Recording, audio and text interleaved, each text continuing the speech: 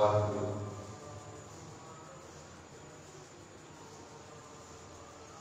ਸਤਨਾਮ।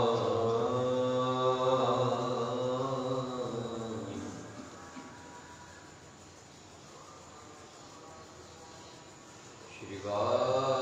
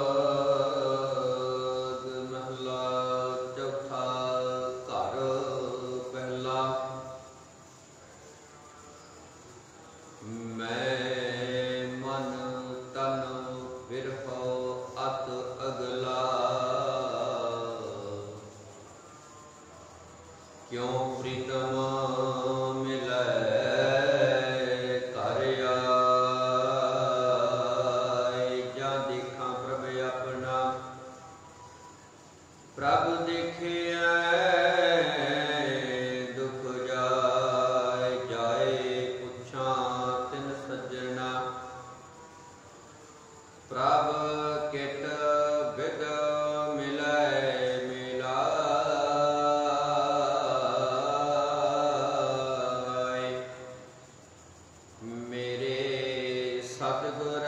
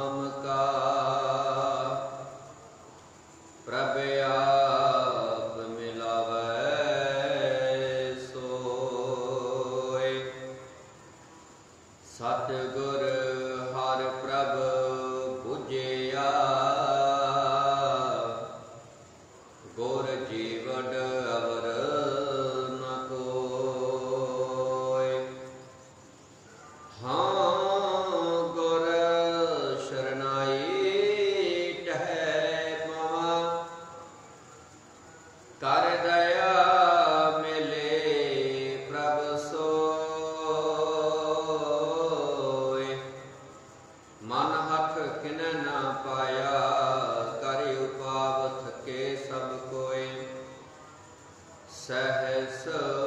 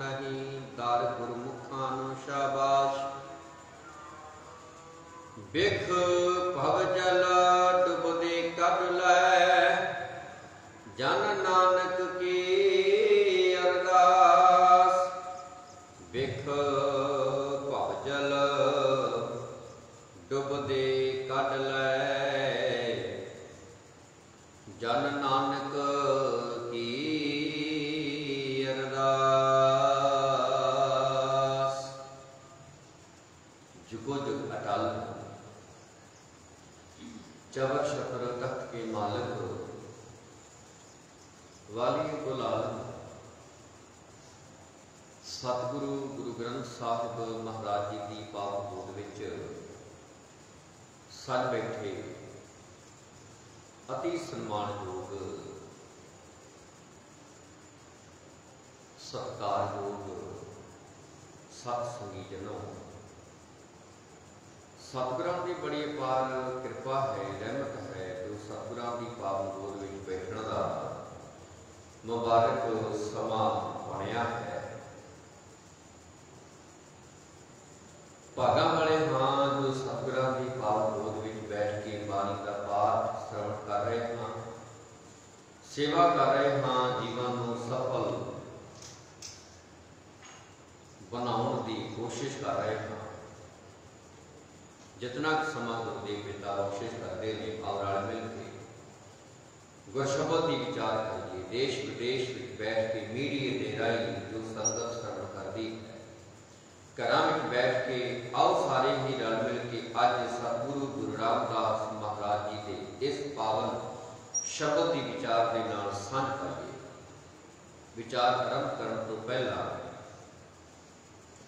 ਸਤਿਗੁਰਾਂ ਨੂੰ ਸੀਸ ਝੁਕਾ ਕੇ ਗੁਰਫਤਿਹ ਪ੍ਰਵਾਨ ਕਰਵਾ ਵਾਹਿਗੁਰੂ ਜੀ ਕਾ ਖਾਲਸਾ, ਵਾਹਿਗੁਰੂ ਜੀ ਕੀ ਫਤਿਹ। ਸੰਗਤ ਜੀ, ਇਹ ਸ਼ਬਦ ਧੰਨ ਧੰਨ ਸਾਹਿਬ ਸ੍ਰੀ ਗੁਰੂ ਗੁਰੂ ਰਾਮਦਾਸ ਮਹਾਰਾਜ ਜੀ ਦਾ ਉਚਾਰਿਆ ਹੋਇਆ ਹੈ। ਗੁਰੂ ਰਾਮਦਾਸ ਮਹਾਰਾਜ, ਜਿਨ੍ਹਾਂ ਦੇ ਦਰ ਤੇ ਜਾਈਏ ਤੇ ਸੀਸ ਅਦਬ ਨਾਲ ਝੁਕ ਜਾਂਦਾ ਹੈ। ਆਪ ਮਹਾਰੇ ਵਾਹਿਗੁਰੂ ਮੁਖ ਵਿੱਚੋਂ ਨਿਕਲ ਜਾਂਦਾ ਹੈ। ਮਨ ਰੱਬ ਦੇ ਚਰਨਾਂ ਪਰਮੇਸ਼ਰ ਦੇ ਚਰਨਾਂ ਵਿੱਚ ਜੁੜਦਾ ਹੈ। ਗੁਰੂ ਰਾਮਦਾਸ ਮਹਾਰਾਜ ਜੀ ਦੀ ਕਿਰਪਾ ਸਮੁੱਚੇ ਸੰਸਾਰ ਤੇ ਬਣੀ ਹੈ। ਤੇ ਸਤਿਗੁਰੂ ਸੱਚੇ ਪਾਤਸ਼ਾਹ ਗੁਰੂ ਰਾਮਦਾਸ ਮਹਾਰਾਜ ਬੜੇ ਪਿਆਰੇ ਜਿਹੇ ਢੰਗ ਨਾਲ ਪਰਮੇਸ਼ਰ ਦੀ ਯਾਦ ਵਿੱਚ ਜੁੜਨ ਦੀ ਪ੍ਰੇਰਣਾ ਕਰਦੇ ਹੋਏ ਇਸ ਸ਼ਬਦ ਵਿੱਚ ਜੋ ਸਾਨੂੰ ਸਮਝਾ ਰਹੇ ਨੇ,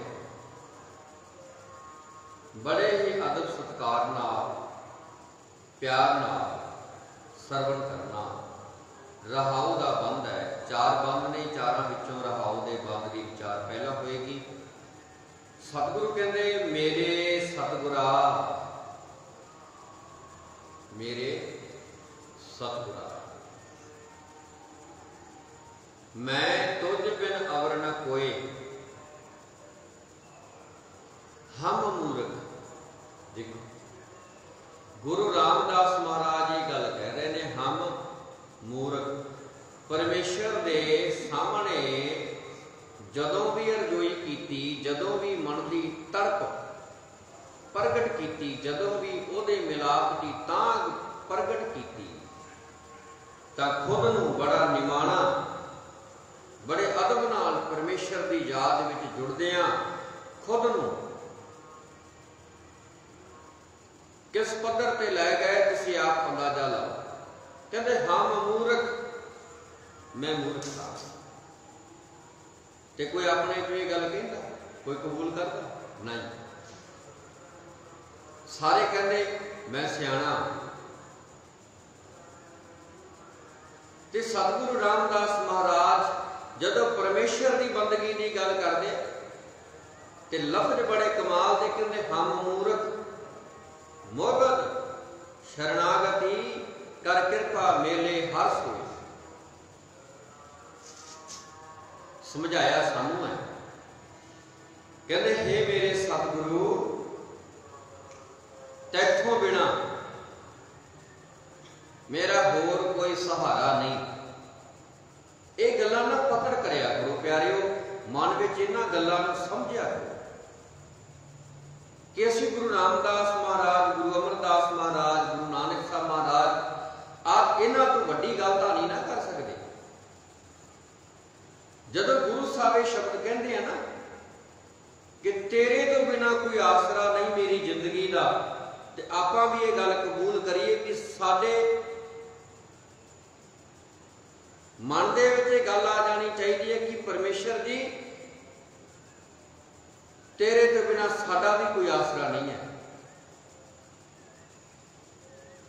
ਸਾਰੇ ਆਸਰੇ ਛੱਡੇ। ਸਗਲ ਦਵਾਰ ਕੋ ਛਾੜ ਕੇ ਗਏ ਤੁਹਾਰੋ ਦਵਾਰ ਮਹ ਗਹਿਮ ਕੀ ਲਾ ਲਿਆ ਸੁਗੋ ਬਿੰਦ ਦਾਸ ਤੁਹਾਰ ਸਾਰੇ ਆਸਰੇ ਛੱਡੇ। ਪਰਮੇਸ਼ਰ ਜੀ, ਤੇਰੇ ਤੋਂ ਆ ਵੱਡਾ ਕੋਈ ਹੋਰ ਆਸਰਾ ਸਾਡੀ ਜ਼ਿੰਦਗੀ ਵਾਸਤੇ ਨਹੀਂ ਹੈ। ਇਹ ਬੇਨਤੀ ਜੇ ਗੁਰੂ ਰਾਮਦਾਸ ਮਹਾਰਾਜ ਕਰਦੇ ਨੇ ਤੇ ਸਾਨੂੰ ਵੀ ਕਰਨੀ ਪਊਗੀ। ਤੇ ਬਾਬਾ ਜੀ ਕਹਿੰਦੇ, ਹੈ ਮੇਰੇ ਸਤਿਗੁਰੂ, ਤੈਥੋਂ ਬਿਨਾ ਹੋਰ ਕੋਈ ਮੇਰਾ ਆਸਰਾ ਨਹੀਂ। ਮੈਂ ਜੀਵ ਮੂਰਖ ਹਾਂ। ਮੈਂ ਤੇ ਮੂਰਖ ਹਾਂ। ਅਯਾਨਾ ਹਾਂ। ਪਾਪ ਕੇ ਬਾਲਕ ਹਾਂ। ਪਰ ਤੇਰੀ ਸ਼ਰਨ ਆਏ ਹਾਂ। ਜਿਹੜੇ, ਜਿਹੜਾ ਭਾਗਾਂ ਵਾਲਾ ਗੁਰੂ ਦੀ ਸ਼ਰਨ ਆਉਂਦਾ ਹੈ ਉਸ ਨੂੰ ਉਹ ਪਰਮਾਤਮਾ ਆਪ ਮਿਹਰ ਕਰਕੇ ਆਪਣੇ ਚਰਨਾਂ ਵਿੱਚ ਜੋੜ ਲੈਂਦਾ। ਮੈਨੂੰ ਤੇ ਇੰਨਾ ਕੁ ਪਤਾ, ਤਾਂ ਹੀ ਮੈਂ ਹੁਣ ਤੇਰੀ ਸ਼ਰਨ ਆਇਆ। ਤੇ ਜਿਹਦੀ ਸ਼ਰਨ ਵਿੱਚ ਕੋਈ ਆ ਜਾਏ, ਗੁਰੂ ਦੀ ਸ਼ਰਨ ਵਿੱਚ ਜਿਹੜਾ ਕੋਈ ਆ ਜਾਏ, ਤੇ ਸਤਿਗੁਰਾਂ ਦੇ ਪਾਵਨ ਬੋਲ ਨੇ ਕਹਿੰਦੇ, ਸਤਿਗੁਰੇ ਆਇਓ ਸ਼ਰਨ ਤੁਹਾਰੀ ਮਿਲਿਆ ਸੂਖ ਨਾਮ ਹਰ ਸੁਭਾ ਚਿੰਤਾ ਲਾ ਹਮਾਰੀ ਅਵਰ ਨ ਸੂਝੈ ਦੂਜੀ ਠਾਹਰ ਹਾਰ ਪਰੇ ਤੋ ਦਾਰੀ, ਲੇਖਾ ਛੋੜ, ਅਲੇਖਾ ਛੁਟੈ, ਹਮ ਨਿਰਗੁਣ ਲਿਹੋ ਉਬਾਰੀ। ਸਾਰੇ ਲੇਖੇ ਲੁਖੇ ਛੁੱਟ ਜਾਂਦੇ ਆ। ਜਦੋਂ ਗੁਰੂ ਦੀ ਸ਼ਰਨ ਵਿੱਚ ਆ ਜਾਈਏ, ਤੇ ਗੁਰੂ ਦੀ ਸ਼ਰਨ ਵਿੱਚ ਆ ਗਏ ਤਾਂ ਪਰਮੇਸ਼ਰ ਦੇ ਨਾਲ ਸਿੱਧੀ ਗੰਢ ਪੈ ਗਈ। ਪਰਮੇਸ਼ਰ ਦੇ ਨਾਲ ਸਿੱਧਾ ਮਿਲਾਪ ਹੋ ਗਿਆ। ਪਰਮੇਸ਼ਰ ਦੇ ਨਾਲ ਸਿੱਧੀ ਗੱਲਬਾਤ ਹੋ ਗਈ। ਸਾਂਝ ਬਣ ਗਈ। ਕਿੱਡੇ ਕਿੱਡੇ ਪਿਆਰੇ ਬਚਨ ਜਦੋਂ ਪਰਮੇਸ਼ਰ ਦੀ ਯਾਦ ਦੀ ਗੱਲ ਗੁਰੂ ਰਾਮਦਾਸ ਮਹਾਰਾਜ ਕਰਦੇ। ਗੁਰੂ ਰਾਮਦਾਸ ਮਹਾਰਾਜ ਉਹ ਸ਼ਖਸੀਅਤ ਨੇ ਜਿਨ੍ਹਾਂ ਨੇ ਮਨੁੱਖਤਾ ਦੀ ਖਾਤਰ ਉਹ ਕਾਰਜ ਕੀਤੇ ਜਿਹੜੇ ਅੱਜ ਤੱਕ ਮਨੁੱਖਤਾ ਜਿਨ੍ਹਾਂ ਨੂੰ ਸਜਦਾ ਕਰਦੀ ਹੈ, ਗੁਰੂ ਰਾਮਦਾਸ ਮਹਾਰਾਜ ਜੀ ਨੇ ਸ਼੍ਰੀ ਦਰਬਾਰ ਸਾਹਿਬ, ਸ਼੍ਰੀ ਅੰਮ੍ਰਿਤਸਰ ਸਾਹਿਬ, ਸ਼੍ਰੀ ਹਰਮੰਦਰ ਸਾਹਿਬ ਜਿਨ੍ਹਾਂ ਨੂੰ ਅਸੀਂ ਕਹਿੰਦੇ ਆ ਸਤਿਗੁਰੂ ਗੁਰੂ ਰਾਮਦਾਸ ਸਾਹਿਬ ਜੀ ਦਾ ਉਹ ਦਰ ਜਿਸ ਦਰ ਤੇ ਜਾ ਕੇ ਸਭ ਦਾ ਸਿਰ ਝੁਕ ਜਾਂਦਾ ਹੈ ਜਦੋਂ ਸ਼ਬਦ ਵਰਤਿਆ ਜਾਂਦਾ, ਡਿੱਠੇ ਸਭੇ ਥਾਵ ਨਹੀਂ ਤੁਧ ਜੇਹਿਆ ਬੇਸ਼ੱਕ ਇਹ ਕਿਸੇ ਬਿਲਡਿੰਗ ਦੇ ਲਈ ਨਹੀਂ ਆ, ਪਰ ਹਰਮੰਦਰ ਸਾਹਿਬ ਬੇਸ਼ੱਕ ਇੱਕ ਹੈਗੀ ਤੇ ਬਿਲਡਿੰਗ ਹੀ ਹੈ ਪਰ ਉਹ ਦਰ ਗੁਰੂ ਰਾਮਦਾਸ ਮਹਾਰਾਜ ਜੀ ਦਾ ਹੋਣ ਕਰਕੇ ਇਹ ਸ਼ਬਦ ਜਦੋਂ ਉਸ ਦਰ ਲਈ ਪੜ੍ਹੇ ਜਾਂਦੇ ਨੇ, ਤਾਂ ਆਪਣੇ ਆਪ ਸੀਸ ਝੁੱਕ ਕੇ ਧਰਤੀ ਨਾਲ ਲੱਗ ਜਾਂਦਾ। ਆਪਾਂ ਕਿੰਨੇ ਵਾਰੀ ਗਏ ਹੋਵਾਂਗੇ ਹਰਮੰਦਰ ਸਾਹਿਬ ਨਾ? ਬਹੁਤ ਲੋਕ ਗਏ ਹੋਣਗੇ। ਜਦੋਂ ਪ੍ਰਕਰਮਾਂ ਵਿੱਚ ਦਾਖਲ ਹੋ ਗਏ ਆਪਣੇ ਆਪ ਸਿਰ ਝੁਕ ਜਾਂਦਾ ਕਿ ਨਹੀਂ ਝੁਕ ਜਾਂਦਾ? ਮਨ ਵੈਰਾਗ ਨਾਲ ਭਰ ਜਾਂਦਾ ਕਿ ਨਹੀਂ ਭਰਦਾ? ਅੱਖਾਂ ਵਿੱਚ ਅਥਰੂ ਆ ਜਾਂਦੇ ਨੇ ਪਰਮੇਸ਼ਰ ਦੇ ਮਿਲਾਪ ਦੇ। ਅੱਖਾਂ ਵਿੱਚ ਅਥਰੂ ਪਰਮੇਸ਼ਰ ਦੇ ਨਾਲੋਂ ਟੁੱਟੇ ਹੋਏ ਲੋਕ ਜਿਹੜੇ ਨੇ, ਉਹ ਵੀ ਉੱਥੇ ਜਾ ਕੇ ਵਿਲਕਦੇ ਨੇ ਕਿ ਪਰਮੇਸ਼ਰ ਤੇਰੇ ਚਰਨਾਂ ਤੋਂ ਟੁੱਟੇ ਹੋਏ ਆ। ਕਿਰਪਾ ਕਰ ਅੱਜ ਤੇਰੇ ਦਰ ਤੇ ਆਏ ਆ। ਇੱਥੇ ਆ ਕੇ ਬੇਨਤੀ ਪਏ ਕਰ ਰਹੇ ਆ ਕਿ ਬਾਬਾ ਆਪਣੇ ਚਰਨਾਂ ਨਾਲ ਜੋੜ ਲਾ। ਦਰ ਉਹ ਵੀ ਉਦਾਂ ਹੀ ਮਹਾਨ ਹੈ ਤੇ ਦਰ ਇਹ ਵੀ ਉਦਾਂ ਹੀ ਮਹਾਨ ਆ ਜਿੱਥੇ ਆਪਾਂ ਬੈਠੇ ਆ। ਪਿਆਰਿਓ, ਦਰ ਵਿੱਚ ਕੋਈ ਫ਼ਰਕ ਨਹੀਂ ਕਿਉਂਕਿ ਗੁਰੂ ਗ੍ਰੰਥ ਸਾਹਿਬ ਦਾ ਸਰੂਪ ਹੀ ਉੱਥੇ ਹੈ ਗੁਰੂ ਗ੍ਰੰਥ ਸਾਹਿਬ ਦਾ ਸਰੂਪ ਹੀ ਇੱਥੇ ਆ। ਪਰ ਉਸ ਨੂੰ ਗੁਰੂ ਰਾਮਦਾਸ ਮਹਾਰਾਜ ਨੇ ਆਪਣੇ ਹੱਥੀ ਸ਼ਿੰਗਾਰਿਆ ਫ਼ਰਕ ਇੰਨਾ ਕੀ ਹੈ, ਜਿੱਥੇ ਮੇਰੇ ਗੁਰੂ ਰਾਮਦਾਸ ਦੇ ਚਰਨ ਪਏ ਹੋਣ, ਉਹ ਦਰ ਕਿੱਡਾ ਮਹਾਨ ਹੋਏਗਾ। ਦੂਰੋਂ ਦੂਰੋਂ ਆ ਕੇ ਲੋਕੀ ਦਰਸ਼ਨ ਕਰਦੇ ਨੇ। ਤੇ ਉੱਥੇ ਜਾ ਕੇ ਵਿਲਕਦੇ ਨੇ, ਆਪਣੇ ਦੁੱਖੜੇ ਰੋਂਦੇ ਨੇ। ਗੁਰੂ ਕੀ ਪਿਆਰਿਓ, ਗੁਰੂ ਰਾਮਦਾਸ ਮਹਾਰਾਜ ਜੀ ਨੂੰ ਸਤ ਸਤ ਨਮਸਕਾਰ ਹੈ, ਜਿਨ੍ਹਾਂ ਨੇ ਬਾਕਮਾਲ ਗੱਲਾਂ ਗੁਰਮਤੀਆਂ ਕਰਕੇ ਮਨੁੱਖਤਾ ਨੂੰ ਅੱਜ ਵੀ ਜਿਹੜੇ ਅਗਵਾਈ ਬਖਸ਼ਿਸ਼ ਕਰ ਰਹੇ ਨੇ, ਸ਼ਬਦ ਰੂਪ ਦੇ ਵਿੱਚ। ਗੱਲ ਕਰ ਰਹੇ ਸਾਂ, ਕਿੰਨੇ ਅਧੀਨਗੀ ਵਾਲੇ ਸ਼ਬਦ ਵਰਤੇ ਨੇ ਗੁਰੂ ਰਾਮਦਾਸ ਮਹਾਰਾਜ ਨੇ ਪਰਮੇਸ਼ਰ ਲਈ ਕਹਿੰਦੇ ਮੈਂ, ਬਾਬਾ ਜੀ, ਇੱਕ ਮੂਰਖ ਹਮ ਮੂਰਖ ਮੁਗਧ ਸ਼ਰਨਾਗਤੀ ਕਰ ਕਿਰਪਾ ਮੇਲੇ ਹਰ ਸੋਏ। ਤੇਰੀ ਸ਼ਰਨ ਆਇਆ, ਮੈਨੂੰ ਪਰਮੇਸ਼ਰ ਦੇ ਨਾਲ ਮਿਲਾ ਲਾਏਗਾ। ਮੈਨੂੰ ਪਤਾ ਜੀ ਦੇ ਉੱਤੇ ਤੇਰੀ ਕਿਰਪਾ ਹੋ ਜਾਏ। ਉਹਦੀ ਤੂੰ ਪਰਮੇਸ਼ਰ ਨਾਲ ਸਾਂਝ ਬਣਾ ਦਿੰਦਾ ਕੌਣ ਕਹਿ ਰਿਹਾ ਜੀ ਭਲਾ? ਤਨ ਤਨ ਗੁਰੂ ਰਾਮਦਾਸ। ਜਿਨ ਸਰਿਆ, ਤਿਨ ਸਵਾਰੇ ਇਹ ਉਹ ਬਾਦਸ਼ਾਹ ਕਹਿ ਰਿਹਾ ਹੈ ਗੁਰੂ ਰਾਮਦਾਸ ਮਹਾਰਾਜ ਜੀ ਦੇ ਇੱਕ ਇੱਕ ਵਚਨ ਸੁਣਨੇ ਵਾਲਾ ਹੈ।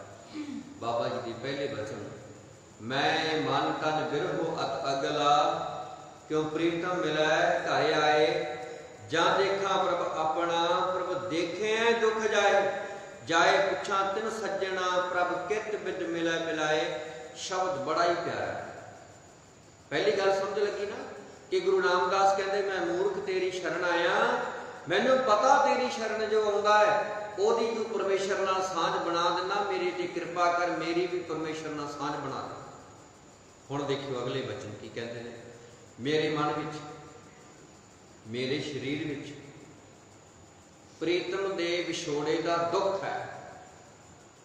ਜਿਨੇ ਮਹਿਸੂਸ ਕਰ ਲਿਆ ਕਿ ਮੈਂ ਗੁਰੂ ਤੋਂ ਟੁੱਟਿਆ ਹੋਇਆ ਪਰਮੇਸ਼ਰ ਤੋਂ ਟੁੱਟਿਆ ਹੋਇਆ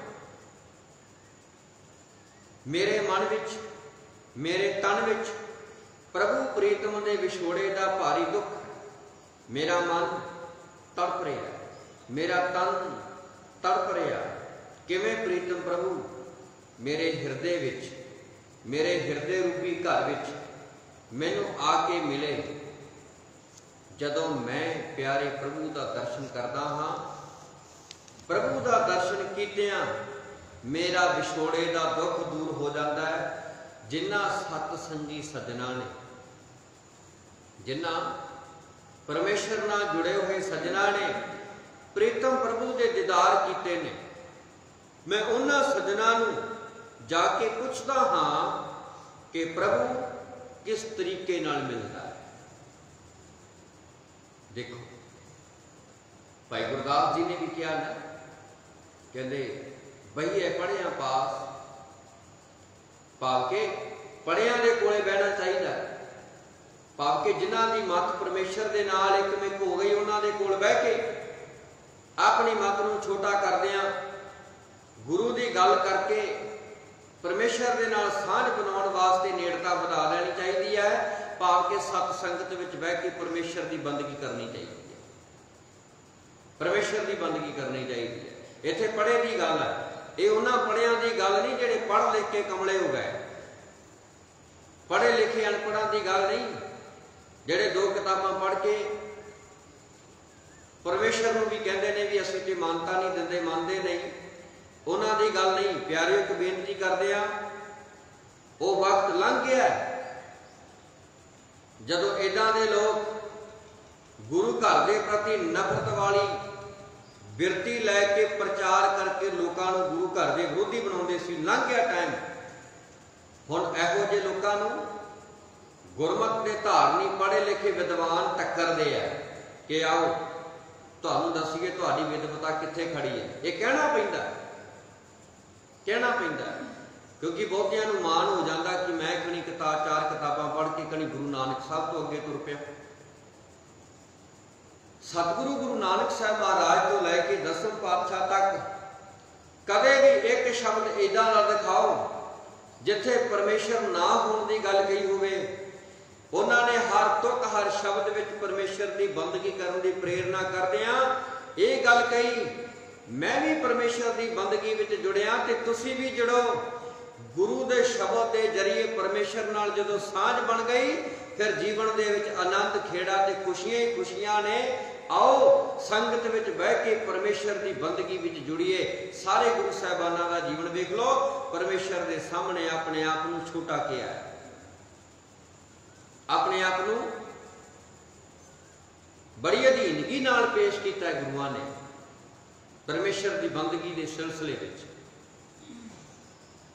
ਗੁਰੂ ਕੇ ਪਿਆਰਿਓ, ਇਸ ਪਾਵਨ ਸ਼ਬਦ ਦੇ ਵਿੱਚ ਧੰਨ ਗੁਰੂ ਰਾਮਦਾਸ ਮਹਾਰਾਜ ਨੇ ਜੋ ਸਾਨੂੰ ਸਮਝਾਇਆ ਹੈ ਕਿ ਸਤ ਸੰਗਤ ਵਿੱਚ ਬੈਠ ਕੇ ਉਸ ਪਰਮੇਸ਼ਰ ਨਾਲ ਸਾਂਝ ਪਾਇਆ ਕਰ, ਜਿਸ ਪਰਮੇਸ਼ਰ ਨੇ ਪੂਰੀ ਕਾਇਨਾਤ ਪੂਰੀ ਕਾਇਨਾਤ ਨੂੰ ਜਿਸ ਨੇ ਸਾਜਿਆ ਤੇ ਦੂਸਰੀ ਬੇਨਤੀ ਕਰਦੇ ਹਾਂ ਜਿਸ ਨੇ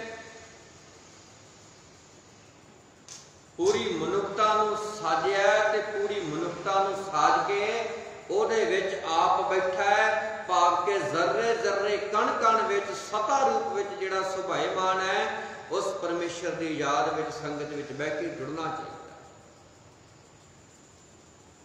ਤੇ ਸਤਿਗੁਰਾਂ ਦੇ ਦੂਸਰੇ ਬਚਨ ਦੂਸਰਾ ਪਹਿਲਾ ਸਮਝ ਲਿਆ ਜੀ, ਸੰਗਤ ਵਿੱਚ ਬਹਿ ਕੇ ਪਰਮੇਸ਼ਰ ਦੀ ਯਾਦ ਵਿੱਚ ਜੁੜਨਾ ਚਾਹੀਦਾ ਦੂਸਰੇ ਬੰਦ ਵਿੱਚ ਕਹਿੰਦੇ, ਸਤਿਗੁਰ ਦਾਤਾ ਹਰ ਨਾਮ ਕਾ। ਸਤਿਗੁਰੂ ਦਾਤਾ ਹੈ। ਕੀ ਦਿੰਦਾ ਜੀ ਸਤਿਗੁਰੂ? ਪਰਮੇਸ਼ਰ ਕੀ ਦਿੰਦਾ ਹੈ? ਗੁਰੂ ਕੀ ਦਿੰਦਾ ਹੈ? ਮੋਟਰਸਾਈਕਲ? ਨਹੀਂ। ਦਾਤ ਇਹ ਵੀ ਉਹਦੀ ਹੈ। ਧਿਆਨ ਦੇਣਾ ਇਹਨਾਂ ਗੱਲਾਂ ਨੂੰ ਸਮਝਣ ਦੀ ਕੋਸ਼ਿਸ਼ ਕਰਿਆ ਜੇ। ਇਹ ਗੱਲਾਂ ਬਰੀਕ ਤੇ ਸੂਖਸ਼ਮ ਬੁੱਧੀ ਮੰਗਦੀਆਂ ਨੇ। ਬਰੀਕ ਬੁੱਧੀ ਨਾਲ ਸਮਝਣ ਦੀ ਲੋੜ ਹੈ। ਮੈਂ ਤੇ ਇਥੋਂ ਤੱਕ ਵੀ ਕਹਿਣਾ ਮੇਰੇ ਕੁਰਤੇ ਨੂੰ ਲੱਗਿਆ ਬਟਨ ਵੀ ਪਰਮੇਸ਼ਰ ਜੀ ਤੁਸੀਂ ਬਣਾਇਆ। ਪਤਾ ਕਿਉਂ? ਕਿਉਂਕਿ ਬੰਦੇ ਦੇ ਦਿਮਾਗ ਵਿੱਚ ਸਮਝ ਆਈ ਤੇ ਉਹਨੇ ਬਣਾਇਆ ਨਾ। ਤੇ ਜਿਸ ਨੇ ਇਹ ਬਣਾਇਆ, ਉਹ ਬੰਦਾ ਕਿਹਨੇ ਬਣਾਇਆ? ਪਰਮੇਸ਼ਰ ਨੇ ਤੇ ਬਣਾਇਆ ਹੈ ਨਾ। ਮੈਂ ਤੇ ਇੱਥੋਂ ਤੱਕ ਕਹਿਣਾ ਮੇਰੇ ਸਾਹਮਣੇ ਆ ਜਿਹੜਾ ਮਾਈਕ ਪਿਆ ਵੀ ਪਰਮੇਸ਼ਰ ਜੀ ਤੁਸੀਂ ਬਣਾਇਆ। ਅੱਜ ਇਸ ਮੀਡੀਆ ਦੇ ਰਾਹੀਂ ਵਿਦੇਸ਼ਾਂ ਵਿੱਚ ਬਹਿ ਕੇ ਲੋਕ ਇਸ ਵੇਲੇ ਸੁਣ ਰਹੇ ਨੇ। ਮੈਂ ਕਹਿੰਦਾ ਵੀ ਮਹਾਰਾਜ, ਇਹ ਮੀਡੀਆ ਦਾ ਜ਼ਰੀਆ ਵੀ ਪਰਮੇਸ਼ਰ ਜੀ ਤੂੰ ਬਣਾਇਆ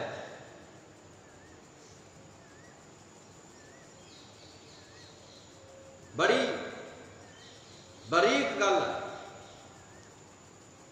ਪਰ ਦੇਖੋ ਗੁਰੂ ਰਾਮਦਾਸ ਮਹਾਰਾਜ ਦੇ ਵਚਨ ਬੋਲਾਂ ਨੂੰ ਸਮਝਿਓ ਬੋਲਾਂ ਦੀ ਭਾਵਨਾ ਔਰ ਉਹਨਾਂ ਦਾ ਪਿਛੋਕੜ ਸਮਝਿਓ ਸਤਿਗੁਰੂ ਕਹਿੰਦੇ, ਸਤਿਗੁਰੂ ਦਾਤਾ ਹਰ ਨਾਮ ਕਾ, ਸਤਿਗੁਰੂ ਦਾਤਾ ਹੈ ਹਰੀ ਨਾਮ ਦਾ।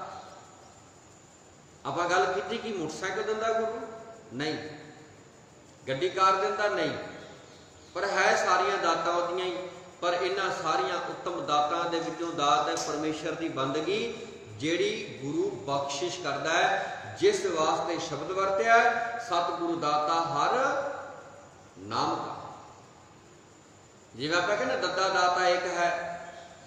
ਭਾਵ ਕਿ ਨਾਮ ਦੀ ਦਾਤ ਦੇਣ ਵਾਲਾ ਇੱਕੋ ਹੀ ਹੈ ਤੇ ਇੱਥੇ ਨਾਮ ਵੰਡਣ ਵਾਲੇ ਹਜ਼ਾਰਾਂ ਪੈਦਾ ਹੋ ਗਏ, ਪਰ ਬਾਬਾ ਕਹਿੰਦਾ, ਜਿੱਦੇ ਤੁਸੀਂ ਇੱਕ ਨਾ ਜੁੜ ਗਏ, ਉਹਦੇ ਤੋਂ ਜਦੋਂ ਪਰਮੇਸ਼ਰ ਦੇ ਨਾਮ ਦੀ ਦਾਤ ਲੈ ਲਈ ਤੇ ਪਿੱਛੇ ਬਾਕੀ ਕੁਝ ਨਹੀਂ ਰਹਿ ਜਾਂਦਾ, ਪਰਮੇਸ਼ਰ ਦੀ ਦਾਤ ਨਾਮ ਜਦੋਂ ਗੁਰੂ ਤੋਂ ਪ੍ਰਾਪਤ ਕਰੀਏ ਜੇ ਗੁਰੂ ਕੇ ਪਿਆਰ ਵਾਲੇ ਫਿਰ ਪ੍ਰਭੂ ਦੇ ਨਾਮ ਵਿੱਚ ਬੰਦਾ ਗੁੜਚ ਹੋ ਜਾਂਦਾ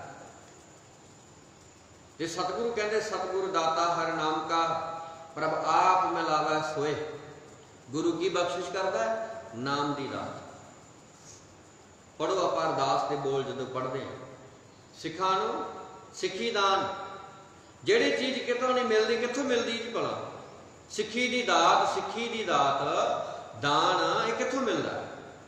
ਪਿਆਰਿਓ, ਕਿਸੇ ਮੌਲ ਤੋਂ, ਕਿਸੇ ਵੱਡੇ ਦੁਕਾਨ ਤੋਂ, ਸ਼ੌਪ ਤੋਂ ਜਾਂ ਕਿਸੇ ਵੱਡੇ ਦੇਸ਼ ਚੋਂ ਨਹੀਂ ਮਿਲਦਾ, ਕਿਸੇ ਵਪਾਰੀ ਤੋਂ ਨਹੀਂ ਮਿਲਦਾ, ਇਹ ਗੁਰੂ ਦੇ ਚਰਨਾਂ 'ਚ ਮਿਲਦਾ।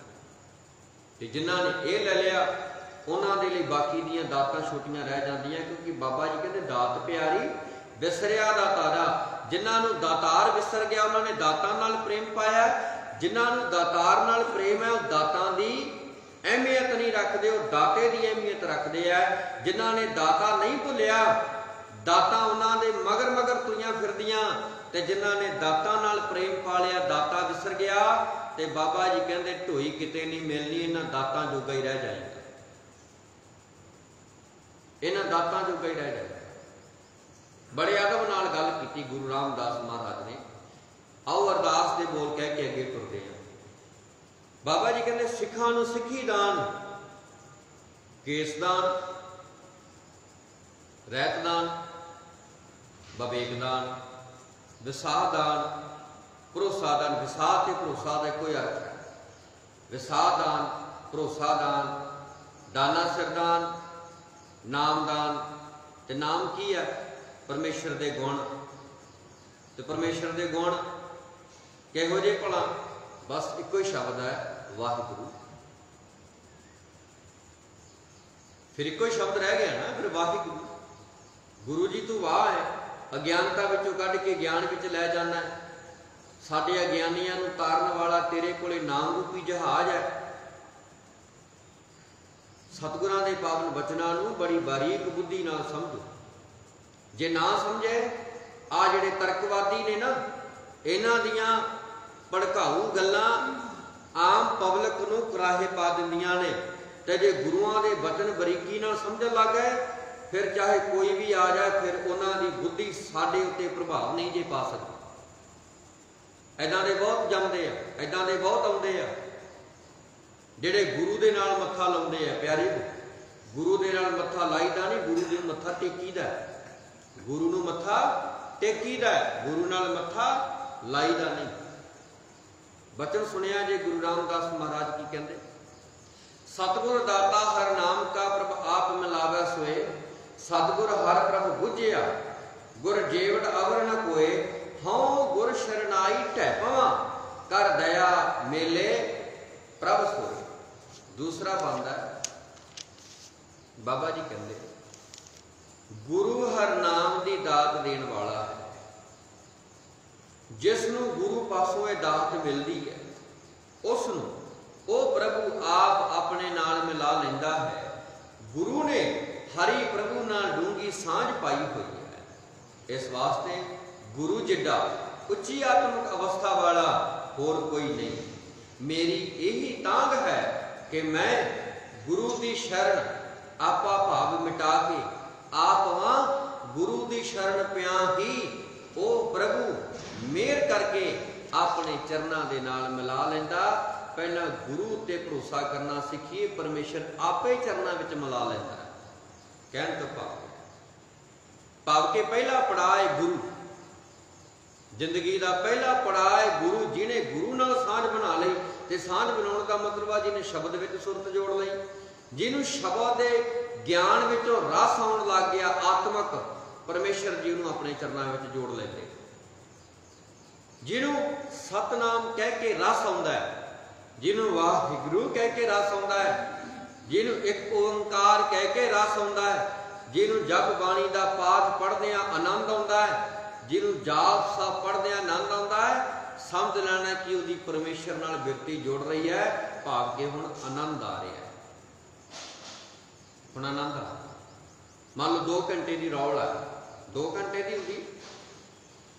2 ਘੰਟੇ ਪਾਠ ਪੜਿਆ ਦੋਵਾਂ ਘੰਟਿਆਂ ਵਿੱਚ 1 ਮਿੰਟ ਵੀ ਬਾਣੀ ਪੜ੍ਹਦਿਆਂ ਆਨੰਦ ਆਇਆ ਨਾ।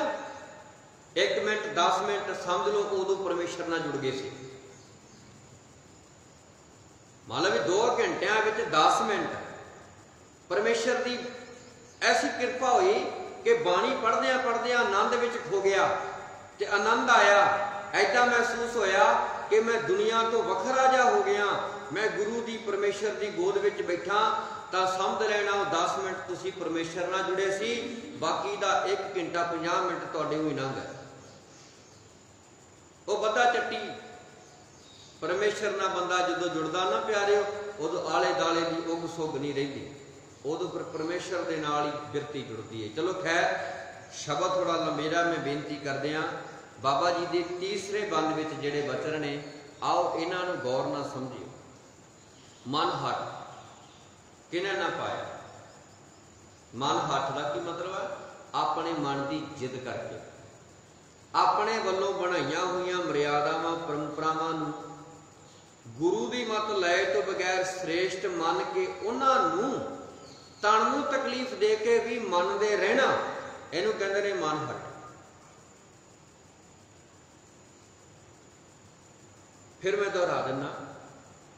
ਮੇਰੇ ਆਪਣੇ ਹੀ ਮਨ ਦੀ ਉਪਜ। ਜਿਹਨੂੰ ਮੈਂ ਇੱਕ ਮਰਿਆਦਾ ਮੰਨ ਬੈਠਾ, ਪਰਮੇਸ਼ਰ ਦੀ ਬਾਣੀ ਦੇ ਗਿਆਨ ਤੋਂ ਬਿਨਾ ਆਪਣੇ ਹੀ ਮਨ ਦੀ ਉਪਜ ਜਿਹਨੂੰ ਮੈਂ ਮਰਿਆਦਾ ਮੰਨ ਬੈਠਾ, ਤਨ ਨੂੰ ਦੁੱਖ ਦੇ ਕੇ ਉਸ ਨੂੰ ਮੰਨੀ ਜਾਵਾਂ, ਇਹਨੂੰ ਕਹਿੰਦੇ ਨੇ ਮਨ ਹੱਥ। ਤੇ ਬਾਬਾ ਜੀ ਦੇ ਬੋਲ ਨੇ ਮਨ ਹੱਥ ਕਿੰਨਾ ਨਾ ਪਾਇਆ? ਮਨ ਦੇ ਹੱਥ। ਨਾਲ ਪ੍ਰਭੂ ਨਹੀਂ ਮਿਲਦਾ। ਕਰ ਉਪਾਵ ਥੱਕੇ ਸਭ ਕੋਈ। ਐਦਾਂ ਦੇ ਉਪਾਵ ਕਰ ਕਰਕੇ ਬਹੁਤੇ ਲੋਕ ਥੱਕ ਗਏ। ਕੋਈ ਕਹਿੰਦਾ ਇੱਕ ਲੱਤ ਤੇ ਖੜ ਕੇ ਭਗਤੀ ਕਰੋ। ਕੋਈ ਕਹਿੰਦਾ ਪੁੱਠੇ ਲੜਕ ਕੇ ਭਗਤੀ ਕਰੋ। ਕੋਈ ਕਹਿੰਦਾ ਭੂਰੇ 'ਚ ਬਹਿ ਕੇ ਭਗਤੀ ਕਰੋ। ਕੋਈ ਕਹਿੰਦਾ ਜੰਗਲਾਂ ਵਿੱਚ ਜਾ ਕੇ ਭਗਤੀ ਕਰੋ। ਤੇ ਬਾਬਾ ਫਰੀਦ ਸਾਹਿਬ ਦੇ ਬਚਨ ਪੜ੍ਹਦਾ ਫਰੀਦਾ, ਜੰਗਲ ਜੰਗਲ ਕਿਆ ਢੂੰਡਾਂ ਵਣ ਕੰਡਾ ਮੋੜੈ ਵਸੀ ਰੱਬ ਹਿਆਲੀਐ ਜੰਗਲ ਕਿਆ ਢੂੰਡੈ ਕੋਈ ਕਹਿੰਦਾ ਜੰਗਲਾਂ 'ਚ ਜਾਣਾ ਕੋਈ ਕਹਿੰਦਾ ਪਹਾੜਾਂ 'ਚ ਜਾਣਾ ਕੋਈ ਕਹਿੰਦਾ ਇਕਾਂਤ ਹੋ ਜਾਓ, ਕੋਈ ਕਹਿੰਦਾ ਵਿਆਹ ਨਾ ਕਰਾਓ, ਸੰਸਾਰਿਕ ਝਮੇਲਿਆਂ 'ਚ ਨਾ ਪਾਓ, ਜਤੀ ਸਤੀ ਰਹੋ, ਕੋਈ ਜਪ ਕਰਦਾ, ਕੋਈ ਤਪ ਕਰਦਾ, ਕੋਈ ਟੂਣੇ ਕਰਦਾ, ਕੋਈ ਟਾਮਣ ਕਰਦਾ, ਕੋਈ ਕੁਛ ਕੋਈ ਕੁਛ। ਬਾਬਾ ਜੀ ਨੇ ਐਸ ਮਨ ਦੇ ਹੱਥ ਜਿਹੜੀਆਂ ਤੇਰੇ ਮਨ ਦੀਆਂ ਉਪਜਾਂ ਨੇ, ਉਹਨਾਂ ਤੋਂ ਪਾਸੇ ਹੋ ਕੇ ਬਾਬਾ ਜੀ ਕਹਿੰਦੇ, ਆਪਣੇ ਪਰਿਵਾਰ ਵਿੱਚ ਰਹਿੰਦੇ ਆ ਕਮਲ ਦੇ ਫੁੱਲ ਵਾਂਗੂ ਨਿਰਲੇਪ ਰਹਿ ਸੰਸਾਰ ਵਿੱਚ ਰਹਿ ਕੇ ਉਸ ਪ੍ਰਮਾਤਮਾ ਦੀ ਬੰਦਗੀ ਕੀਤੀ ਜਾ ਸਕਦੀ ਹੈ। ਸੰਸਾਰ ਨਾਲੋਂ ਨਾਤਾ ਤੋੜ ਕੇ ਜੰਗਲ ਵਿੱਚ ਜਾਣ ਵਾਲਾ ਪਰਮੇਸ਼ਰ ਵੱਲੋਂ ਬਖਸ਼ਿਸ਼ ਕੀਤੀਆਂ ਹੋਈਆਂ ਜ਼ਿੰਮੇਵਾਰੀਆਂ ਤੋਂ ਭਗੌੜਾ ਗਿਣਿਆ ਜਾਂਦਾ ਹੈ। ਇਹੀ ਤੇ ਕਾਰਨ ਸੀ ਗੁਰੂ ਨਾਨਕ ਸਾਹਿਬ ਜੀ ਪਹਾੜਾਂ 'ਚ ਬੈਠੇ ਜੋਗੀਆਂ ਨੂੰ ਥੱਲੇ ਲੈ ਆਏ। ਇਹੀ ਕਾਰਨ ਸੀ ਕਿ ਸਤ ਗੋਸ਼ਟ ਦੀ ਬਾਣੀ ਪੜੋ ਬਾਬਾ ਗੁਰੂ ਨਾਨਕ ਮਹਾਰਾਜ ਨੇ ਉਹਨਾਂ ਨੂੰ ਵੀ ਬਾਹ ਫੜ ਕੇ ਕਹਿਤਾ, ਤੁਸੀਂ ਆਪਣੀਆਂ ਜ਼ਿੰਮੇਵਾਰੀਆਂ ਤੋਂ ਭਗੌੜੇ ਆ। ਤੇ ਸੰਸਾਰ ਵਿੱਚ ਰਹਿੰਦਿਆਂ ਜ਼ਿੰਮੇਵਾਰੀਆਂ ਨੂੰ ਤਣਦੇ ਨਾਲ ਨਿਭਾਉਣ ਵਾਲਾ ਬੰਦਾ ਪਰਮੇਸ਼ਰ ਦੀ ਬੰਦਗੀ ਵਿੱਚ ਜੁੜਿਆ ਹੋਇਆ ਰੱਬ ਦਾ ਸਰੂਪ ਹੋ ਜਾਂਦਾ ਹੈ। ਸੰਸਾਰ ਵਿੱਚੋਂ ਉਪਰਾਮ ਹੋ ਕੇ ਆਪਣੇ ਆਪ ਨੂੰ ਸੰਸਾਰ ਨਾਲੋਂ ਤੋੜ ਕੇ ਜ਼ਿੰਮੇਵਾਰੀਆਂ ਤੋਂ ਭਗੌੜਾ ਬੰਦਾ ਕਦੇ ਪਰਮੇਸ਼ਰ ਨਾਲ ਨਹੀਂ ਜੁੜ ਸਕਦਾ। ਜ਼ਿੰਮੇਵਾਰੀਆਂ ਨੂੰ ਨਿਭਾਉਂਦੇ ਆ, ਪਰਮੇਸ਼ਰ ਦੀ ਬੰਦਗੀ ਕਰਦੇ ਆ, ਕਮਲ ਫੁੱਲ ਵਾਂਗੂ ਜ਼ਿੰਦਗੀ ਨੂੰ ਜਿਉਣਾ ਹੈ। ਚਿੱਕੜ ਵਿੱਚ ਰਹਿਣਾ ਵੀ ਹੈ ਤੇ ਚਿੱਕੜ ਤੋਂ ਨਰਲੇਪ ਰਹਿ ਕੇ ਆਪਣੀ ਖੁਸ਼ਬੂ ਵੀ ਵੰਡਣੀ ਹੈ ਆਪਣੀ ਖੁਸ਼ਬੂ ਵੀ ਵੰਡਣੀ ਹੈ ਕਰਮ ਕਰਦੇ ਜਾਣਾ ਚੰਗੇ ਤੇ ਸ੍ਰੇਸ਼ਟ ਜ਼ਿੰਮੇਵਾਰੀਆਂ ਨਿਭਾਉਂਦੇ ਆ। ਇਹ ਗੁਰੂ ਸਾਹਿਬਾਨਾਂ ਨੇ ਜ਼ਿੰਮੇਵਾਰੀਆਂ ਨਿਭਾਈਆਂ ਜੀ। ਗੁਰੂ ਨਾਨਕ ਸਾਹਿਬ ਮਹਾਰਾਜ ਤੋਂ ਲੈ ਕੇ ਦਸਮ ਪਾਤਸ਼ਾਹ ਤੱਕ ਇੱਕ ਵੀ ਗੱਲ ਦੱਸੋ, ਇਤਿਹਾਸ ਵਿੱਚੋਂ ਜਿਹੜੀ ਜ਼ਿੰਮੇਵਾਰੀ ਤੋਂ ਪਰੇ ਹੋਵੇ, ਜ਼ਿੰਮੇਵਾਰੀ ਜਿੱਥੇ ਗੁਰੂ ਸਾਹਿਬ ਨੇ ਨਾ ਨਿਭਾਈ ਹੋਵੇ ਹਰ ਗੱਲ ਨੂੰ ਜ਼ਿੰਮੇਵਾਰਾਂ ਤਰੀਕੇ ਦੇ ਨਾਲ ਗੁਰੂ ਸਾਹਿਬਾਨਾਂ ਨੇ ਨਿਭਾਇਆ। ਇਤਿਹਾਸ ਬੜਾ ਗਹਿਰਾ ਹੈ। ਚਲੋ ਖੈਰ, ਗੁਰੂ ਰਾਮਦਾਸ ਮਹਾਰਾਜ ਕਹਿੰਦੇ ਨੇ, ਕਹਿੰਦੇ, ਮਨ ਹਟ ਕਿਨੈ ਨਾ ਪਾਇਆ ਗੁਰ ਉਪਾ, ਕਰ ਉਪਾਪ, ਥਕੇ ਸਭ ਕੋਏ, ਸਹਸ ਸਿਆਣਪ ਕਰ ਰਹੇ। ਲਓ, ਅਗਲੀ ਗੱਲ। ਕਹਿੰਦੇ, ਆਪਣੇ ਮਨ ਦੀਆਂ ਸਿਆਣਪਾਂ, ਸਹਸ ਲੱਖਾਂ ਹਜ਼ਾਰਾਂ ਹੀ ਸਿਆਣਪਾਂ ਕਰ ਕਰਕੇ ਬੰਦੇ ਨੇ ਵੇਖ ਲਈਆਂ। ਆਪਾਂ ਕਹਿੰਦੇ ਆ ਨਾ, ਜਦੋਂ ਜਪਜੀ ਸਾਹਿਬ ਦੀ ਬਾਣੀ ਪੜ੍ਹਦੇ ਆ ਸਹਿ ਸਿਆਣਪਾਂ ਲੱਖ ਹੋਏ ਤਾਂ ਇੱਕ ਨਾ ਚੱਲੈ, ਨਾਲ ਉਹਦਾ ਮਤਲਬ ਵੀ ਇਹੀ ਹੈ। ਆ ਤੇਰੀਆਂ ਚਤਰਾਈਆਂ ਸਿਆਣਪਾਂ ਨਾਲ ਰੱਬ ਨਹੀਂ ਮਿਲਦਾ। ਇੱਥੇ ਤੇ ਪਰਮੇਸ਼ਰ ਦੀ ਬੰਦਗੀ ਵਿੱਚ ਭੋਲਾ ਭਾਗ ਗੋਬਿੰਦ ਮਲਾਇਆ ਵਾਲੀ ਗੱਲ ਹੋਣੀ ਚਾਹੀਦੀ ਹੈ।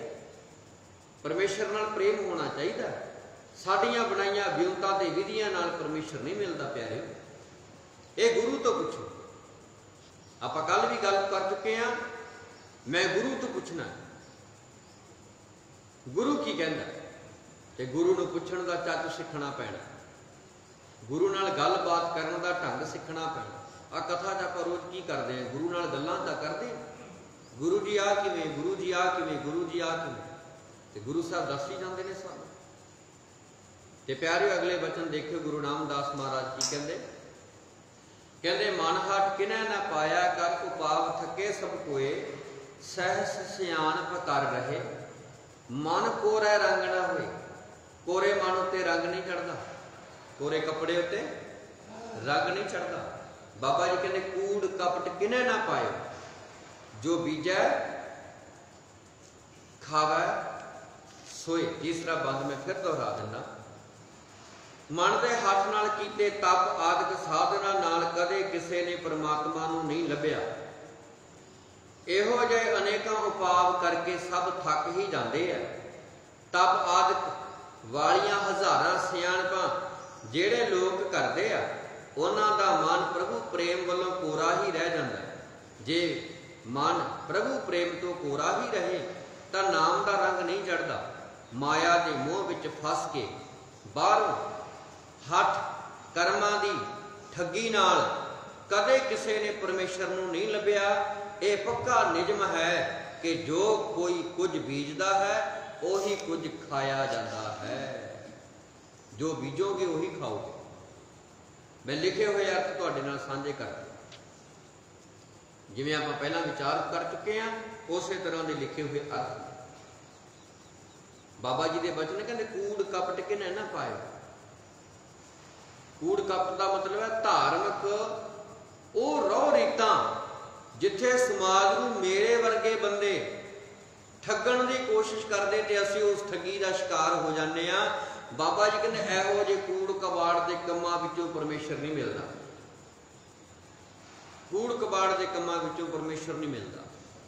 ਇੱਥੇ ਤੇ ਸਿੱਧਾ ਸਾਫ਼ ਨੀਅਤ ਨਾਲ ਕੰਮ ਕਰਨਾ ਪੈਂਦਾ ਫਿਰ ਜਾ ਕੇ ਪਰਮੇਸ਼ਰ ਨਾਲ ਸਾਂਝ ਬਣਦੀ ਹੈ। ਚੌਥਾ ਵਚਨ ਗੁਰੂ ਰਾਮਦਾਸ ਮਹਾਰਾਜ ਜੀ ਦਾ, ਕਹਿੰਦੇ ਸਬਨਾ ਤੇਰੀ ਆਸ ਪ੍ਰਭ। ਸਾਰਿਆਂ ਨੂੰ ਤੇਰਾ ਹੀ ਆਸਰਾ ਮਾਲਕ। ਸਭ ਜੀ ਤੇਰੇ, ਤੂੰ ਰਾਸ। ਪ੍ਰਭ ਤਦੋਂ ਖਾਲੀ ਕੋ ਨਹੀਂ। ਦਰ ਗੁਰਮੁਖਾਨ ਸ਼ਾਬਾਸ। ਬਿਖ ਭਵ ਜਲ ਡੁੱਬਦੇ ਕੱਢ ਲੈ। ਜਨ ਨਾਨਕ ਕੀ ਅਰਦਾਸ। ਗੁਰੂ ਰਾਮਦਾਸ ਮਹਾਰਾਜ ਅਰਦਾਸ ਕਰਦੇ ਨੇ ਪਰਮੇਸ਼ਰ ਦੇ ਚਰਨਾਂ ਵਿੱਚ। ਬੜੇ ਅਧੀਨਗੀ ਵਾਲੇ ਸ਼ਬਦਾਂ ਨਾਲ ਕਹਿੰਦੇ ਨੇ हे ਪ੍ਰਭੂ, ਸੰਸਾਰ ਸਮੁੰਦਰ ਤੋਂ ਬਚਣ ਵਾਸਤੇ ਸਭ ਜੀਵਾਂ ਨੂੰ ਤੇਰੀ ਸਹਾਇਤਾ ਦੀ ਆਸ ਹੈ। ਤੇਰੇ ਭਰੋਸੇ ਅਸੀਂ ਬੈਠੇ ਹਾਂ। ਤੇਰੇ ਤੇ ਸਾਨੂੰ ਭਰੋਸਾ ਹੈ ਕਿ ਤੂੰ ਸਾਨੂੰ ਤਾਰ ਲਏਗਾ। ਆ ਗੁਰੂ ਦੀ ਸੰਗਤ ਵਿੱਚ ਆਏ ਆ ਨਾ।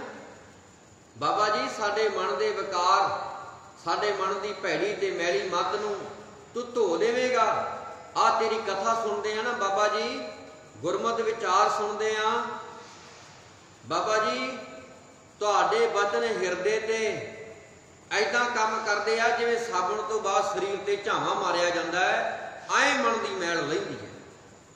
ਜੇ ਕੋਈ ਲਾਵੇ ਤਾਂ। ਇਹ ਗੁਰੂ ਰਾਮਦਾਸ ਮਹਾਰਾਜ ਕਹਿੰਦੇ ਨੇ, ਬਾਬਾ, ਤੇਰੀ ਸ਼ਰਨ ਵਿੱਚ ਆ ਕੇ ਤੇਰੇ ਬਚਨ ਐਦਾਂ ਤਨ ਤੋਂ ਮੈਲ ਲਾਉਂਦੇ ਆ, ਬੇਸ਼ੱਕ ਜਿਵੇਂ ਇੱਕ ਨਿਆਣਾ, ਇੱਕ ਬੱਚਾ ਰੋਜ਼ ਆਪੇ ਨਹਾ ਲੈਂਦਾ ਮਾਂ ਕਹਿੰਦੀ, ਆ ਜਾ, ਅੱਜ ਤੈਨੂੰ ਮੈਂ ਨਵਾਉਣੀ ਆ। ਤੇ ਬੱਚਾ ਮਾਂ ਦੇ ਹੱਥੋਂ ਛੁੱਟ ਛੁੱਟ ਭੱਜਦਾ ਕਿ ਨਹੀਂ ਭੱਜਦਾ? ਪਤਾ ਕਿਉਂ? ਉਹਨੂੰ ਪਤਾ ਮਾਂ ਨੇ ਸਾਬਣ ਲਾ ਕੇ ਮਲਣਾ ਹੈ ਤੇ ਜਦੋਂ ਮਲੂਗੀ ਤੇ ਗੁਰੂ ਕੇ ਪਿਆਰਿਓ ਤਣ ਤੋਂ ਮੈਲ ਵੀ ਲੱਥੂਗੀ ਤੇ ਨਾਲੇ ਮਾਂ ਨਵਾਈ ਜਾਂਦੀ ਹੈ ਤੇ ਨਾਲੇ ਆਖੀ ਜਾਂਦੀ ਹੈ, ਰੋਜ਼ ਆਪੇ ਨਹਾ ਲੈਣਾ ਪੁੱਤ। ਕਿੰਨੇ ਵਾਰੀ ਆਖਿਆ, ਮੈਥੋਂ ਨਹਾ ਲਾ ਆ ਦੇਖ ਤੇਰੀ ਧੌਣ ਤੇ ਮੈਲ ਲੱਗੀ। ਆਹ ਦੇਖ ਤੇਰੇ ਗੋਡਿਆਂ ਤੇ ਮੈਲ ਲੱਗੀ। ਪਿਆਰਿਓ, ਬਾਣੀ ਪੜਨ ਨੂੰ ਸਾਰੇ ਘਰਾਂ 'ਚ ਬਹਿ ਕੇ ਪੜੀ ਜਾਂਦੇ ਨੇ, ਪਰ ਜਦੋਂ ਇੱਥੇ ਸ਼ਬਦ ਦੀ ਵਿਚਾਰ ਹੁੰਦੀ ਹੈ, ਉਦੋਂ ਫਿਰ ਜਿਵੇਂ ਮਾਂ ਨਹੀਂ ਮਲ ਮਲ ਨਵਾਉਂਦੀ ਐਦਾਂ ਬੰਦੇ ਦਾ ਮਨ ਧੋਤਾ ਜਾਂਦਾ ਇੱਥੇ। ਬਹੁਤੇ ਤੇ ਚੀਕਾਂ ਮਾਰਦੇ, ਬਾਥਰੂਮ 'ਚ ਭਾਜੀ ਜਾਂਦੇ ਨੇ ਨਿਆਣੇ ਹਾਏ, ਮੈਂ ਨਹੀਂ ਨਹਾਉਣਾ, ਹਾਏ, ਮੈਂ ਨਹੀਂ ਨਹਾਉਣਾ। ਪਿਆਰੇ, ਫਿਰ ਮਾਂ ਘੇਰ ਘੇਰ ਕੇ ਲਿਆਉਂਦੀ ਆ, ਬਹਿ ਜਾ ਨਾਲਾ ਇੱਥੇ ਹੁਣ ਘੇਰ ਕੇ ਲਿਆਵੇ ਕਿਹੜਾ ਪਿਆਰੇ, ਜਿਹਨੂੰ ਗੱਲ ਚੰਗੀ ਨਹੀਂ ਨਾ ਲੱਗਦੀ। ਜਾਂ ਜਿਹਦੇ ਹੱਡ ਤੇ ਵੱਜ ਜਾਂਦੀ ਉਹ ਮੁੜ ਕੇ ਗੁਰਦੁਆਰੇ ਨਹੀਂ ਆਉਂਦਾ। ਇੱਥੇ ਘੇਰ ਕੇ ਕਿਹੜਾ ਲਿਆਵੇ ਪਿਆਰੇ ਇਹ ਮਨ ਦੀ ਮੈਲ ਧੋਤੀ ਜਾਂਦੀ ਹੈ। ਇਹ ਗੁਰੂ ਦੀ ਬਾਣੀ ਦੀ ਵਿਚਾਰ ਸਾਡੇ ਮਨ ਨੂੰ ਐਨ ਧੋ ਦੇਵੇਗੀ, ਪਰ ਹਾਂ, ਕੋਈ ਮਨ ਨੂੰ ਧੋਣ ਦੀ ਨਿਸ਼ਠਾ ਲੈ ਕੇ ਗੁਰੂ ਦੇ ਚਰਨਾਂ ਵਿੱਚ ਆਵੇ। ਨਿਸ਼ਠਾ ਲੈ ਕੇ, ਪਿਆਰ ਲੈ ਕੇ ਆ ਤੇ ਬਾਬੇ ਦੀ ਬਾਣੀ ਮਨ ਨੂੰ ਧੋਂਦੀ ਹੈ। ਆ ਦੇਖੋ ਕੀ ਕਿਹਾ ਗੁਰੂ ਸਾਹਿਬ ਨੇ। ਸੰਸਾਰ ਸਮੁੰਦਰ ਤੋਂ ਬਚਾਉਣ ਵਾਸਤੇ ਜੀਵਾਂ ਨੂੰ ਤੇਰੀ ਸਹਾਇਤਾ ਦੀ ਲੋੜ ਹੈ। ਸਭ ਜੀਵ ਤੇਰੇ ਹੀ ਪੈਦਾ ਕੀਤੇ ਹੋਏ ਨੇ ਪਰਮੇਸ਼ਰ ਜੀ। ਤੂੰ ਹੀ ਸਭ ਜੀਵਾਂ ਦੀ ਆਤਮਿਕ ਰਾਸ ਪੂੰਜੀ। ਹੈ ਪ੍ਰਭੂ, ਤੇਰੇ ਦਰ ਤੋਂ ਕੋਈ ਖਾਲੀ ਨਹੀਂ ਮੁੜਦਾ। ਧਿਆਨ ਦੇਣਾ ਪਿਆਰਿਓ ਇਸ ਗੱਲ ਦਾ। ਐਸ ਦਰ ਤੋਂ ਕਦੇ ਕੋਈ ਖਾਲੀ ਨਹੀਂ ਜੀ ਮੁੜਿਆ। ਨਾ ਤੂੰ ਮੁੜੇਗਾ। ਲੋਕਾਂ ਦੀਆਂ ਗੱਲਾਂ 'ਚ ਨਾ ਆਇਆ ਕਰੋ, ਗੁਰੂ ਦੀਆਂ ਗੱਲਾਂ ਤੇ ਭਰੋਸਾ ਕਰਿਆ ਕਰੋ, ਜੋ ਗੁਰੂ ਰਾਮਦਾਸ ਮਹਾਰਾਜ ਕਹਿ ਰਹੇ ਨੇ। ਇਹ ਤੋਂ ਪਹਿਲਾਂ ਗੁਰੂ ਅਮਰਦਾਸ ਮਹਾਰਾਜ ਦੇ ਬਚਨ ਸਨ ਉਦੋਂ ਪਹਿਲਾਂ ਗੁਰੂ ਨਾਨਕ ਸਾਹਿਬ ਮਹਾਰਾਜ ਦੇ ਬਚਨ ਸਨ, ਹੁਣ ਗੁਰੂ ਰਾਮਦਾਸ ਮਹਾਰਾਜ ਦੇ ਬਚਨ ਨੇ। ਚੌਥੇ ਪਾਤਸ਼ਾਹ, ਜਿਨ੍ਹਾਂ ਦੇ ਦਰ ਤੇ ਜਦੋਂ ਜਾਈਏ ਬੇਨਤੀ ਕਰੀਏ ਤੇ ਬਾਬਾ ਝੋਲੀਆਂ ਭਰ ਦਿੰਦਾ, ਪਿਆਰਿਓ, ਮੈਂ ਇਸ ਗੱਲ ਦਾ ਜਿੰਦਾ ਜਾਗਦਾ ਤੁਹਾਡੇ ਸਾਹਮਣੇ ਗਵਾਹ ਬੈਠਾ। ਇੱਕ ਸਾਲ ਪਹਿਲਾਂ, ਮੈਨੂੰ ਸਾਲ ਹੋ ਗਿਆ ਪਿੰਡ ਆਏ ਬੇਨਤੀ ਕਰਾਂ ਪਿਆਰਿਓ, ਕਹਿਣੀ ਨਹੀਂ ਚਾਹੀਦੀ ਗੱਲ। ਪਰ ਜਦੋਂ ਮੈਂ ਗੁਰੂ ਦੇ ਪ੍ਰੇਮ ਦੇ ਵਿੱਚ ਭਿੱਜ ਜਾਵਾਂ ਤੇ ਫਿਰ ਮੈਨੂੰ ਨਹੀਂ ਪਤਾ ਵੀ ਲੋਕ ਮੇਰੀ ਗੱਲ ਦਾ ਕੀ ਮਤਲਬ ਕੱਢਣਗੇ। ਇੱਕ ਸਾਲ ਪਹਿਲਾਂ ਆਇਆ ਸਾਂ, ਕੁਝ ਨਹੀਂ ਸੀ ਕੋਲੇ। ਅੱਜ ਪਰਮੇਸ਼ਰ ਨੇ ਐਸੀ ਕਿਰਪਾ ਕੀਤੀ, ਮੇਰੇ ਮਾਲਕ ਨੇ ਲਹਿਰਾਂ ਬਹਿਰਾ ਕਰ ਤੇ ਅੱਗੇ ਕਰੀ ਜਾਏਗਾ। ਹੋਰ ਕੀ ਚਾਹੀਦਾ ਪਰਮੇਸ਼ਰ ਤੋਂ? ਆ ਜੀਵਨ ਦਿੱਤਾ ਤੰਦਰੁਸਤੀ ਬਖਸ਼ਿਸ਼ ਕੀਤੀ ਹੈ। ਬੋਲ ਰਹੇ ਆ ਸੁਣ ਰਹੇ ਆ ਸਮਝ ਰਹੇ ਆ ਸਮਝਾ ਰਹੇ ਆ ਪਰਮੇਸ਼ਰ ਦੀ ਕਿੰਨੀ ਕਿਰਪਾ ਪਿਆਰੀ। ਪਰਮੇਸ਼ਰ ਦੀ ਕਿਰਪਾ ਨੂੰ ਨਜ਼ਰਅੰਦਾਜ਼ ਕਦੇ ਨਾ ਕਰੋ। ਤੇ ਬਾਬਾ ਜੀ ਦੇ ਬੋਲ ਕਹਿ ਕੇ ਸਮਾਪਤੀ ਕਰਾਂ, ਤੇਰੇ ਦਰ ਤੋਂ ਕਦੇ ਕੋਈ ਖਾਲੀ ਨਹੀਂ ਮੁੜਿਆ। ਪਿਛਲੇ ਸਾਲ ਮੰਜੀ ਸਾਹਿਬ, ਗੁਰਦੁਆਰਾ ਸਾਹਿਬ ਕਥਾ ਕਰਨ ਗਏ ਸਾਂ। ਦਰਬਾਰ ਸਾਹਿਬ, ਸ੍ਰੀ ਅੰਮ੍ਰਿਤਸਰ ਸਾਹਿਬ। ਉੱਥੇ ਜਾ ਕੇ ਜਦੋਂ ਸਿੰਘ ਸਾਹਿਬ ਨੇ ਕਥਾ ਕੀਤੀ, ਦੋ ਦਿਨ ਮੈਂ ਕਥਾ ਸੁਣਦਾ ਰਿਹਾ। ਉੱਥੇ ਜਾ ਕੇ ਗੁਰੂ ਰਾਮਦਾਸ ਦੇ ਘਰ ਰੋਜ਼ ਜਾਣਾ। ਤਿੰਨ ਚਾਰ ਦਿਨ ਅਸੀਂ ਰਹੇ ਸੀ। ਬਾਬੇ ਦੇ ਚਰਨਾਂ ਤੇ ਬੇਨਤੀ ਕਰਨੀ, ਬਾਬਾ ਜੀ, ਦਿਲ ਦੀਆਂ ਤਕਲੀਫਾਂ ਤੂੰ ਜਾਣਦਾ ਹੈ ਤੇ ਮੇਰੇ ਮਾਲਕ ਨੇ ਜਦੋਂ ਅਸੀਂ ਉੱਥੇ ਸਿੰਘ ਸਾਹਿਬ ਗਿਆਨੀ ਜਗਤਾਰ ਸਿੰਘ ਜੀ ਜਿਹੜੇ ਹੈੱਡ ਗ੍ਰੰਥੀ ਸਾਹਿਬ ਨੇ, ਉਹਨਾਂ ਨੂੰ ਮਿਲੇ, ਉਹਨਾਂ ਨਾਲ ਗੱਲਾਂ ਬਾਤਾਂ ਹੋਈਆਂ। ਸਿੰਘ ਸਾਹਿਬ ਨੇ ਗੱਲ 'ਚ ਸਰੂਪਾ ਪਾਤਾ ਤੇ ਮੇਰੇ ਨਾਲ ਦੇ ਸਿੰਘ ਜਿਹੜੇ ਕਥਾ ਵਾਸਤੇ ਕਥਾ ਵਾਚਕ ਗਏ ਸੀ, ਕਹਿਣ ਲੱਗੇ, ਗਿਆਨੀ ਜੀ ਆ ਚੱਕੋ ਬਾਬੇ ਨੇ ਸਰੂਪਾ ਦਿੱਤਾ, ਗੁਰੂ ਰਾਮਦਾਸ ਮਹਾਰਾਜ ਨੇ, ਸਭ ਨੂੰ ਕਿਰਪਾ ਹੋ ਗਈ। ਹੋਰ ਕੀ ਚਾਹੀਦਾ? ਸਿੰਘ ਸਾਹਿਬ ਨੂੰ ਸਰੂਪਾ ਮਿਲਿਆ। ਬੜੇ ਪ੍ਰੇਮ ਨਾਲ ਗੱਲਾਂ ਬਾਤਾਂ ਹੋਈਆਂ। ਚਲੋ ਖੈਰ, ਇਹ ਮੇਰਾ ਵਿਸ਼ਾ, ਮੈਂ ਇਹ ਤਾਂ ਦੱਸਿਆ, ਮੈਨੂੰ ਪਿਆਰ ਆਇਆ, ਮੈਂ ਤਾਂ ਦੱਸਿਆ। ਅੱਛਾ, ਗੱਲ ਕਰ ਰਹੇ ਸਾਂ, ਤੇਰੇ ਦਰ ਤੋਂ ਕਦੇ ਕੋਈ ਖਾਲੀ ਨਹੀਂ ਮੁੜਦਾ। ਗੁਰੂ ਦੀ ਸ਼ਰਨ ਪੈਣ ਵਾਲੇ ਬੰਦਿਆਂ ਨੂੰ ਤੇਰੇ ਦਰ ਤੇ ਆਦਰ ਮਿਲਦਾ ਹੈ। ਸੱਚੀ ਬਾਤ ਹੈ। ਗੁਰੂ ਦੀ ਸ਼ਰਨ ਪੈਣ ਵਾਲਿਆਂ ਨੂੰ ਆਦਰ ਮਿਲਦਾ ਹੈ। हे ਪ੍ਰਭੂ, ਤੇਰੇ ਦਾਸ ਨਾਨਕ ਦੀ ਤੇਰੇ ਅੱਗੇ ਅਰਜ਼ੋਈ ਹੈ ਅਰਦਾਸ ਹੈ ਕਿ ਤੂੰ ਸੰਸਾਰ ਸਮੁੰਦਰ ਦੇ ਵਿਕਾਰਾਂ ਦੇ ਜ਼ਹਿਰ ਵਿੱਚ ਡੁੱਬਦੇ ਜੀਵਾਂ ਨੂੰ ਕੱਢ ਲੈਣਾ ਹੈ ਤੇ ਕਿਰਪਾ ਕਰ ਮੇਰੀ ਵੀ ਡੁੱਬਦੀ ਹੋਈ ਬੇੜੀ ਨੂੰ ਪਾਰ ਲਾ ਦੇ। ਤੇਰੇ ਚਰਨਾਂ ਤੇ ਬੇਨਤੀ ਹੈ, ਬਾਬਾ ਮੇਰੇ ਵੀ ਜੀਵਨ ਨੂੰ ਆਪਣੇ ਪ੍ਰੇਮ ਦੇ ਰੰਗ ਵਿੱਚ ਰੰਗ ਦੇ। ਮੈਂ ਵੀ ਪਰਮੇਸ਼ਰ ਦੀ ਤੁਹਾਡੇ ਨਾਮ ਰੂਪੀ ਰੰਗ ਵਿੱਚ ਆਪਣੇ ਜੀਵਨ ਨੂੰ ਰੰਗਣਾ ਚਾਹੁੰਦਾ। ਤੇ ਗੁਰੂ ਰਾਮਦਾਸ ਮਹਾਰਾਜ ਕਿਰਪਾ ਕਰਦੇ ਨੇ। ਇਹ ਸੀ ਗੁਰੂ ਰਾਮਦਾਸ ਮਹਾਰਾਜ ਜੀ ਦੇ ਪਾਵਨ ਸ਼ਬਦ ਦੀ ਵਿਚਾਰ। ਅੱਜ ਆਪਾਂ ਪਹਿਲੇ ਸ਼ਬਦ ਗੁਰੂ ਰਾਮਦਾਸ ਮਹਾਰਾਜ ਜੀ ਦਾ ਪਹਿਲਾ ਸ਼ਬਦ ਵਿਚਾਰਿਆ ਸ਼੍ਰੀ ਰਾਗ ਦੇ ਵਿੱਚੋਂ। ਹੋਈਆਂ ਬੇਅੰਤ ਭੁੱਲਾਂ ਦੀ ਖਿਮਾ। ਗੁਰ ਫਤਿਹ ਕਰੋ ਜੀ ਪ੍ਰਵਾਨ ਆਖੋ, ਵਾਹਿਗੁਰੂ ਜੀ ਕਾ ਖਾਲਸਾ, ਵਾਹਿਗੁਰੂ ਜੀ ਕੀ ਫਤਿਹ। ਰਾਮਕਲੀ ਮਹਿਲਾ ਤੀਜਾ ਆਨੰਦ ਓੰਕਾਰ, ਸਤਿਗੁਰ ਪ੍ਰਸਾਦ। ਆਨੰਦ ਪਾਇਆ, ਮੇਰੀ ਮਾਏ ਸਤਿਗੁਰੂ ਮੈਂ ਪਾਇਆ ਸਤਿਗੁਰ ਤਾਂ ਪਾਇਆ, ਸਹਿਜ ਸੇਤੀ ਮਨ ਵਧੀਆਂ ਬਾਧਾਈਆਂ ਰਾਗ ਰਤਨਾ